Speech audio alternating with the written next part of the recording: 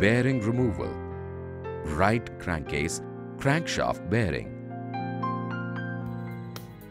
Support the crankcase as shown. Always support the crankcase by holding it firmly. Install driver 46 mm side facing outwards to the driver handle. Now seat the 46 mm side on the crankshaft bearing and drive the bearing out as shown.